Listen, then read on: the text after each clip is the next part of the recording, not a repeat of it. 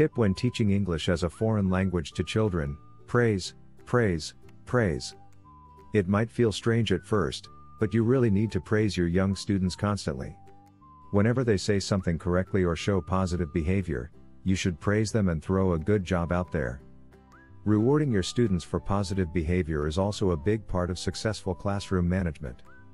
For example, you could create sticker boards and give out stickers as encouragement when your student is doing a good job. When the sticker board is full, they will get a reward. Thanks so much for watching. We are ITTT, the leading provider for TEFL and TESOL training courses. If you like this video, please subscribe by clicking the button down here and click on any of the videos here on the left for more interesting teaching tips for getting certified to teach English abroad and online.